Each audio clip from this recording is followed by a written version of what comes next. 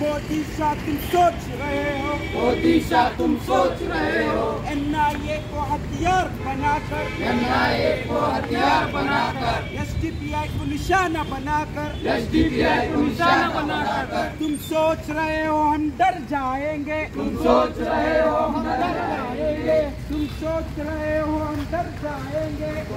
जाएँगे के शेरों में। ना डरे हम अंग्रेज़ों से। ना डरे चेलों से। ना आज उनके चेलों से। जिन फिरंगियों को लात मार कर भारत से भगाया। जिन फिरंगियों को लात मार कर भारत से भगाया। उसी टीपू के औलाद है हम। उसी टीपू के औलाद है हम। अरे कदम कदम पर लड़ेंगे तुमसे। कदम कदम कदम पर लड़ेंगे तुमसे। कदम कदम पर लड़ेंगे तुमसे। कदम कदम पर लड़ेंगे तुमसे।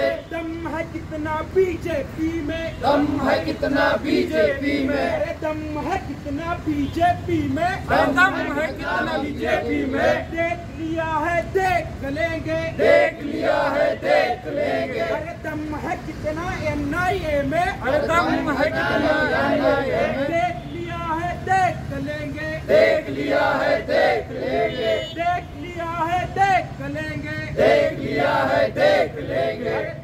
है कितना ईडी में? दम है कितना ईडी में? देख लिया है देख लेंगे। देख लिया है देख लेंगे। होश में आओ होश में आओ। होश में आओ।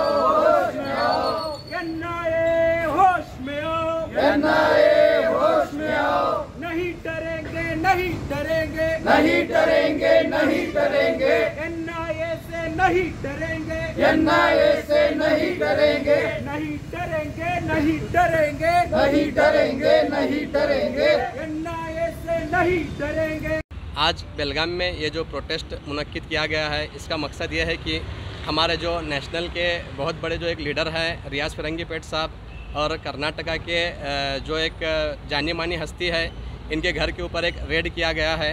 एनआईए की तरफ़ से इस रेड का कोई मकसद नहीं है बस उनका एक सोचना है कि रेड करेंगे तो ये लोग डर जाएँगे और ये इसको ये इसको ये लोग जो है अ, लिंक कर रहे हैं बिहार में जो अरेस्टिंग हुई है जो जि- जि- जो कि हमारे कैडर्स है और जो हमारे लीडर्स हैं उनके ऊपर रेड कर उन, उनके ऊपर भी एन ने रेड करके उन्हें फेस फेक एलिगेशन केस में फंसाकर अ, जो उन्हें अरेस्ट कराया है, इसी तरह से वो अपनी चाल चलते हुए हमारे फिरंगी पेट साहब को भी इसी तरह से वो एक, एन एक अपनी साजिश में फंसाना चाह रही थी, मगर एन के पूरे नौ घंटे के रेड के बाद में भी उन्हें वहाँ से कुछ हासिल नहीं हुआ।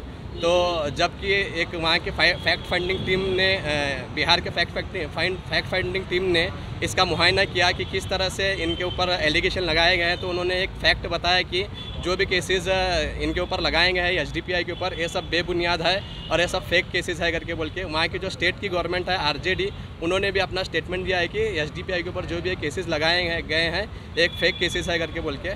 मगर एन और ईडी का जो काम है, ये जो ये जो ये लोग काम कर रहे हैं, इनका ये काम नहीं है। इनका काम है नेशनल की सिक्योरिटी को नेशनल को पूरी सिक्योरिटी देना और नेशनल में जो भी गलत काम होते हैं, उन, उनकी, उनके ऊपर कार्रवाई करना। मगर यहाँ पे हो क्या रहा है, ये लोग बीजेपी के कठपुतली बनकर बीजेपी जैसे उनको बताती है कि जैसे एक टॉमी होता है, छू करने के साथ जो काम करता है, उस तरह से जो ये लोग जो है काम कर रहे हैं। तो बीजे, बीजेपी ने ही ये, इनो, ये सब चीज़ें करने के लिए इन्हें लिंक बताकर दिया है। जैसे कि आप देख सकते हैं कि जितने भी सच बोलने वाले लोग हैं सोशल एक्टिविटीज़ है जर्नलिज्म के लोग हैं, इनके ऊपर जो है एन या फिर ईडी का हमेशा से रेट पड़ते आया है और इन लोगों को फंसाया जा रहा है।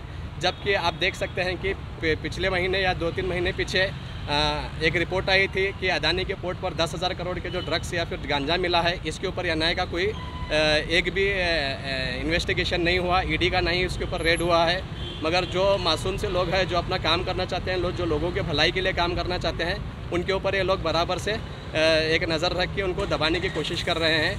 तो अभी अभी हमने ये भी देखा कि किस तरह से एमएलए को ये लोग डरा धमका कर, एन और ईडी की टीम को भेजकर डरा धमका कर, क्या है, सरकारों को पलटने का काम करते हैं? जैसे कि आपने हमारे कर्नाटक की सरकार को भी देखा है, या फिर अभी महाराष्ट्र में शिवसेना की सरकार को भी देखा है कि कैसे ये लोग बीजेपी में जाकर ईडी और एन के डर से या फिर उनको बड़े बड़े ऑफ़र मिलते हैं, ऑफ़र देकर इन्हें कैसे भी करके सरकार को गिराने के लिए मनाया जा रहा है। अभी कुछ दिनों पहले के दिल्ली के सीएम केजरीवाल साहब ने सही, ठीक ठीक, बताया कि उनके साथ क्या हुआ करके बोल के। मनीष सिसोदिया जो है, उनके बहुत करीबी है, उनके घर के ऊपर सीबीआई की रेड की गई और उन्हें इस चीज़ का झांसा दिया गया है कि अगर आप सरकार गिराने में हमारी मदद करेंगे तो नेक्स्ट सीएम हम आपको बनाएँगे। और जो है, आप अगर नहीं करेंगे तो हम आपके सभी एम के ऊपर इसी तरह से रेड करते रहेंगे। फिर उसके बाद में उन्होंने उनको 20-20 करोड़ रुपए का ऑफ़र भी दिया। तो खुलकर केजरीवाल जी ने दिल्ली के सदन में बात बताई है। तो मैं यही बात आपसे कहना चाहूँगा, जो ये लोग दबाने की कोशिश कर रहे हैं सच को और सच का काम करने वाले लोगों को डी इन लोगों से डरने वाली नहीं है। एच जो है इंसाफ के लिए और लोगों के हकूक़ के लिए, लोगों के भलाई के लिए और सच्चाई के लिए जिस रफ्तार से काम करती आ रही है और इस इंडिया के कॉन्स्टिट्यूशन को बचाने के लिए जिस रफ्तार रफ्तार से काम करती आ रही है social democratic party of India इसी तरह से काम करती रहेगी। Social democratic party of India किसी के सामने रुकेगी नहीं और किसी के सामने झुकेगी नहीं। चाहे जो कुछ भी हो जाए, हम हमारा काम पूरी ईमानदारी के साथ करते रहेंगे। बस यही मैं अपनी बात कहकर अपनी बात को ख़त्म करता हूँ। शुक्रिया।